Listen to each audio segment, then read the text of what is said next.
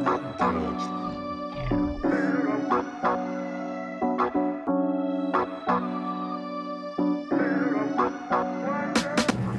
guys, welcome back. Um, today I wanted to show you a cool bench trick. Um, this is making a female joint. Um, so for this project, what you're gonna need is uh, some 16 millimeter tubing, or you can make tubing that's about 16 millimeters, and um, we're gonna make a 14 mil joint. So I'm gonna use uh, the Griffin Glass joint tool. Uh, you guys can also use uh, graphite reamers or there's other kinds of joint tools that you can use but for today I'm just to show you with a uh, Griffin glass tool I love that tool so you want to light your torch it's definitely good to have a Zippo around as opposed to another kind of uh,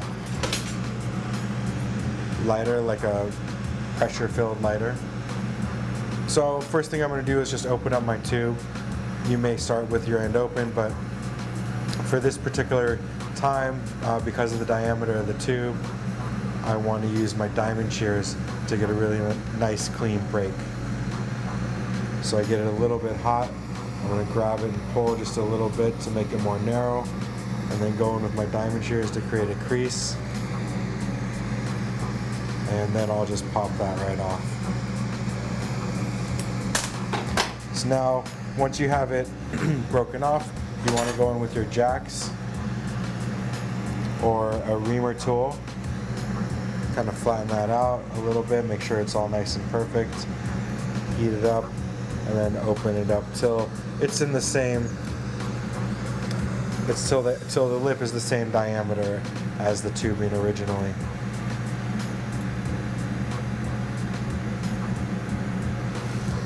I'm just going to square that off a little bit.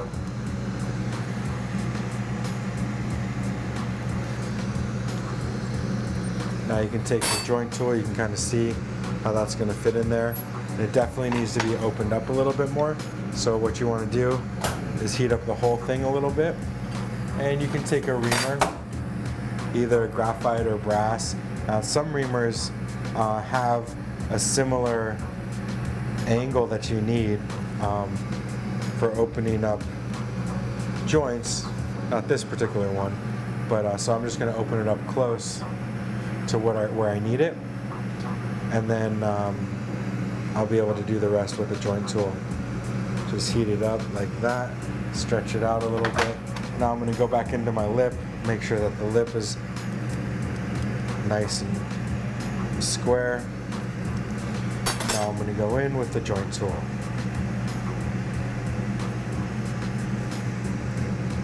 Just go in, turn a little bit, and you want to be able to get that nice and close to the edge.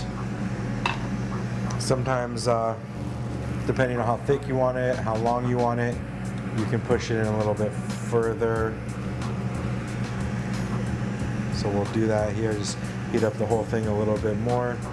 Go ahead and just push that in. You can see it's right down to the edge of the tool. It's a little bit bigger, than the tool right now, so I'm going to go in and um, condense the wall back down a little bit so it's right on the edge of uh, just being able to fit.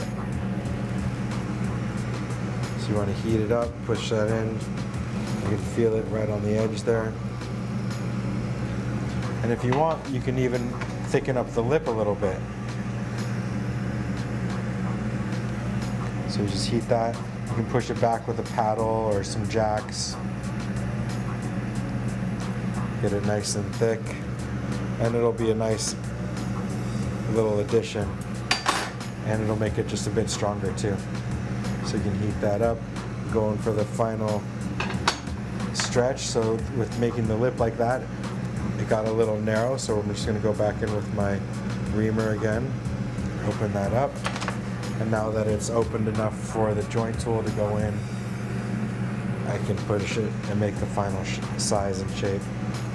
So this is a 14 millimeter joint. It's a little bit big, so I'm just gonna go in and narrow it down a little bit more.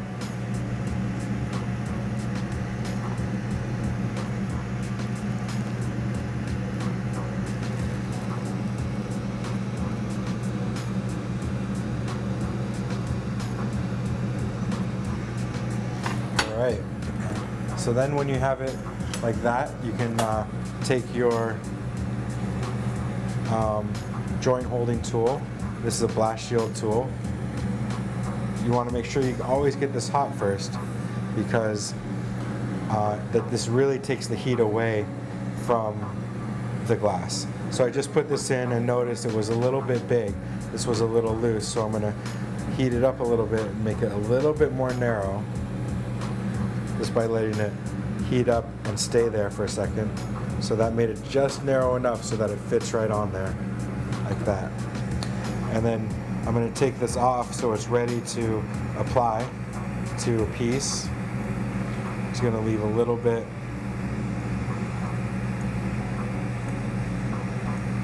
of glass there on the end and I'll be able to pull this off once I heat it up a little bit.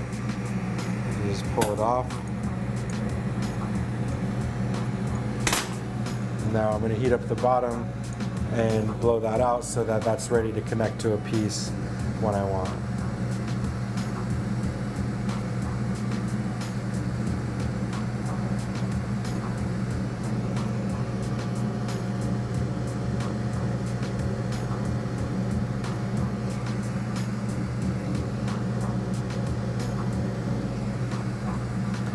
So I'll heat that up and I'll condense that back and even out that little bubble.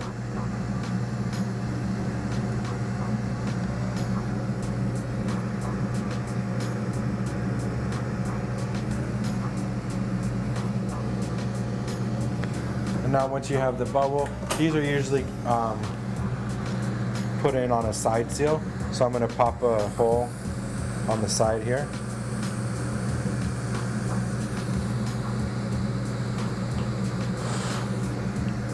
So that's all ready.